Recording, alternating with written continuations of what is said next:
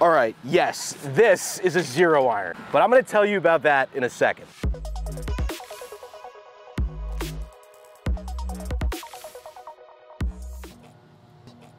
One, two, three, and we are now connected and we are ready to swing. All right, we're gonna start with the gamers. That's right, the wedges. In fact, last year we went to California. We went to the Titleist plant where they make these, and I had some fun grinding my own wedges with Aaron. But to see these things come to life, put them into play, I've had so much success with them this year. Let's start with this one.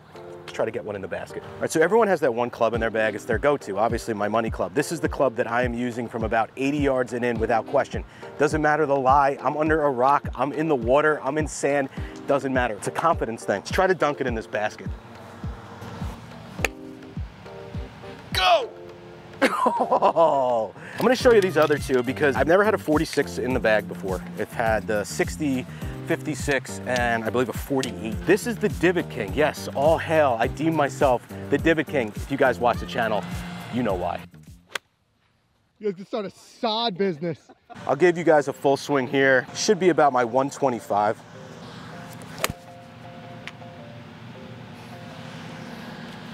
One twenty-nine, ball speed 98. That's my 125 to 130 club. This would be the last resort before I edge into the pitching wedge, which is at 43 degrees. So everyone's favorite driving range club, the seven iron, right? It's that feel good. I'm gonna hit it, I'm gonna show you the T300s.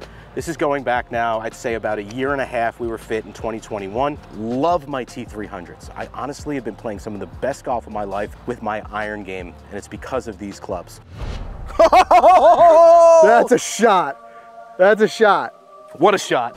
So let's smack one of these and try to get it in that normal 175 to 180 range.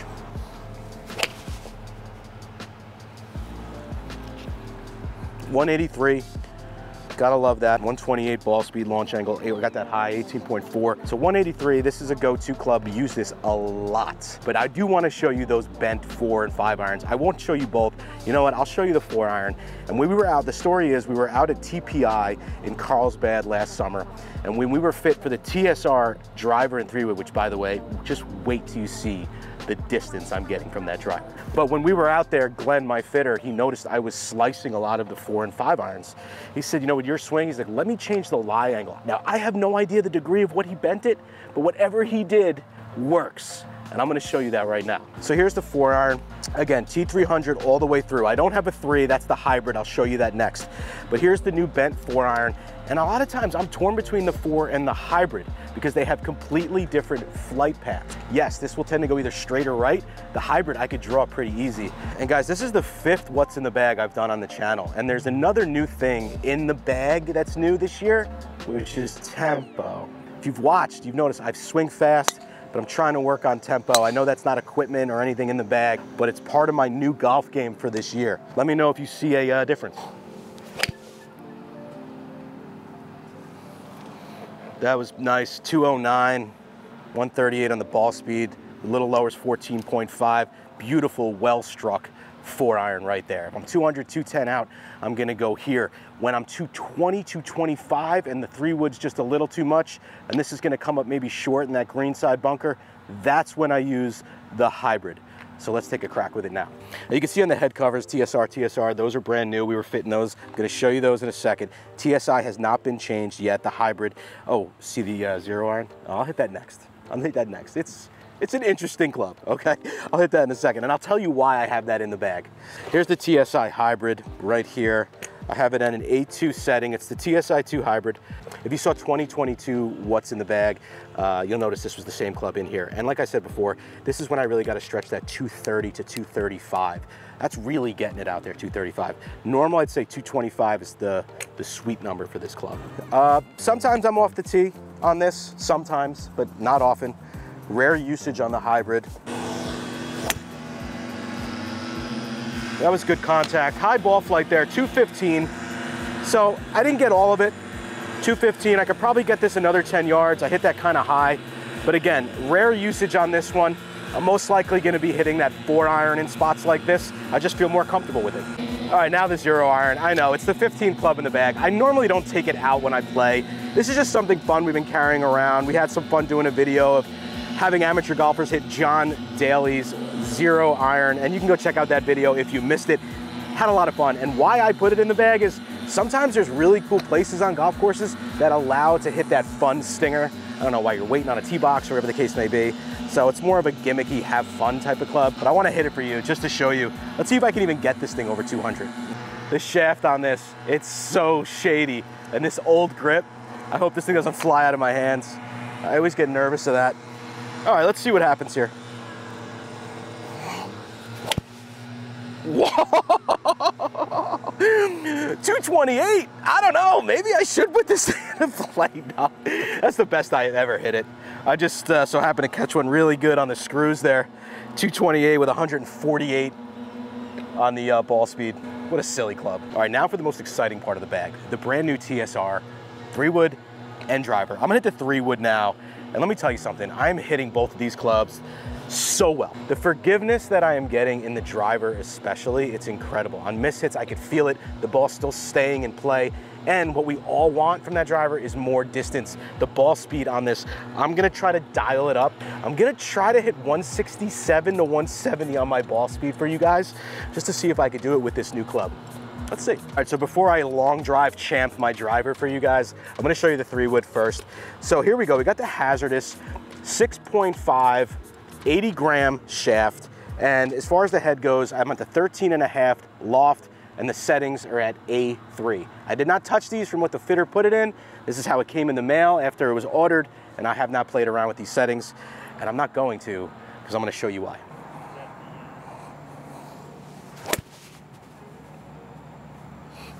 All right, I hit a little behind that, but 237 which is not too bad. I mean, I rely on this club for about 240 to 250. So 237, uh, that was one shot. Let me give you guys another one.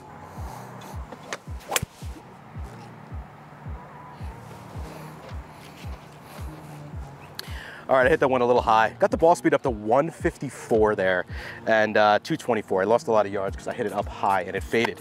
But again, this club, it does get a lot of use, especially with the par fives. Uh, starting to trust it more off the tee to keep the ball in play, trying to make this my fairway finder. But I tell you what, I've been having a lot of success finding fairways with the driver. So that's been my go-to right now off the tee. And I know, enough is enough already, Mike. Hit the driver. We want to see the new TSR driver. Let's hit it. All right, well, here's the Scotty. I'm gonna show you the Scotty Cameron in a second, and then I'm gonna take you through. So stick with me. I'm gonna show you what's in the closet part of my bag. I'm gonna show you what I keep in the safe. I know I got all these catchy names for it. And then I'll show you the balls that I'm playing this year, as well as what's in that other kind of shady, hidden little pocket down there. Oh, by the way, the other thing in the bag are these custom tees. Check that out. How cool is that? The old Golficity logoed tees. Pretty cool, you know? So there you go, 165 on the ball speed, 265 is the carry. So as you can tell, I mean, that's pretty good. That's solid. I mean, I was coming into that fitting in the high 150s on ball speed. But hey, it's one shot. I know you guys are gonna kill me in the comments. One shot, Mike, hit another one.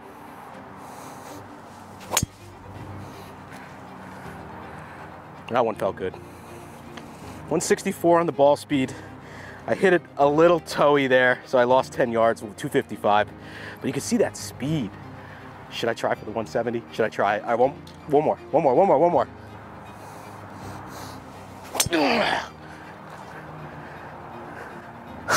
One sixty nine. Oh, I was so close. But hey, this club makes that possible. Love this club. By the way, on the driver, I didn't mention it, but uh, same 80 grams, 6.5 black HZRDUS. So the wood three wood and the driver shaft match. All right, so new bag this year, the Titleist Stay Dry Players 4 Plus. I'm loving the bag because of the compartments. Most importantly, I'm loving the lightweight. Remember, I have 15 clubs in here and I've got a lot of stuff in the pockets. This thing is super light. I wanna start with this first because this is one of the most exciting new things that happened last year and we're gonna continue to use it, but it is the customized Golficity Precision Pro NX10 rangefinder. When I say customized, check it out guys. Here it is. So these things slide off. We did a whole review on these when they launched on our channel. There's so many different available options for other things. If you wanna do a coral, a camo, different colors, American flag, you just pop it on, you can customize it. I keep this one. It's got the enjoy the game here. Super cool. And what I love about this rangefinder, it, it's super fast. I'm gonna shoot this guy down the range right here.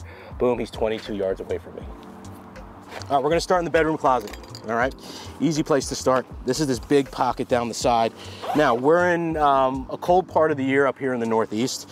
So I have this, yes, there is no hair upstairs. So it gets cold and we need one of these. I leave that in there. I also keep in here the beloved. I'm telling you, you are the man if you come on a cold, wet day with a pair of FootJoy rain gloves. All your buddies in your group are gonna be super jealous. They've only got one glove on.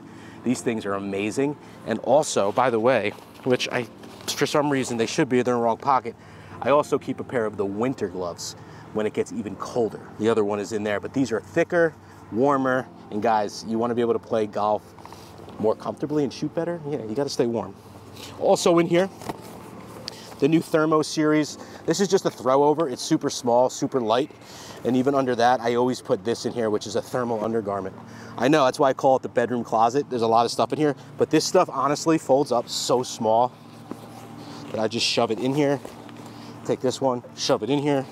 And this bedroom closet is now complete. This is my everything little zipper pocket here because I keep the keys in here. I keep the jack of spades in here. Yeah, I know, weird, right? My wallet is in there, the cell phone is in there, I don't need to take that stuff out. But this is that small pocket Titleist put here, just so I know, I zip it up, I put it in there before the round, and at the end of the round, I'm not standing there, I'm going, like I always do, it's all right here. By the way, how cool is this logo? When Titleist asked what kind of logo we'd like to do. I mean, you've got the Titleist logoing on it on the sides, but right here is where you can get creative. I went with the white gray black trim bag with the white logo with the black outline. I just wanted to keep everything kind of similar in the color patterns. I think it's pretty sleek. Those are the colors I like. They match the TS um, head covers, things like that, and just wanted to keep it all matching. Now the main pocket that everyone kind of just shoves all their junk in, this is my ball pocket. Oh, and a scorecard. I wonder where this is from.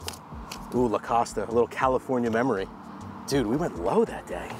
Wow, it did. Okay, um, so a couple of balls in here. I'm playing the Pro V1X. We did a ball fitting way back when they launched these. This is the ball that I was fit into, absolutely love it. Uh, we're gonna be doing a little bit more and possibly another ball fitting coming up soon. So if you're not subscribed to the channel, subscribe, because if you've never seen a ball fitting or even done a ball fitting, it's pretty interesting. It's pretty eye-opening. This little top zipper pocket, I call it the little shady pocket, it's small, and this is where I keep all of the tees, the divot stuff. Ooh, what's this from? Look at that Blackwolf Run at Whistling Straits. So there's some memory stuff in here, as well as speaking of memory stuff on the side of the bag here. It's two of my favorite things are two places we were at last year, two great trips was Whistling Straits and then the Titleist Performance Institute. We went there uh, like almost back-to-back -back weeks. It was just an epic August last year. We had a lot of fun and uh, kept the memories right here. This other pocket on the other side, there's really not much in there. I have stickers in here. Believe it or not, people will come up and say, Golficity, hey, love the videos, whatever. And I reach in the bag. If I've got stickers in here or stuff in here, I just like to hand them out to people. So if you see us on the range, say hello. I don't know, maybe we'll give you some. All right, this is Scotty.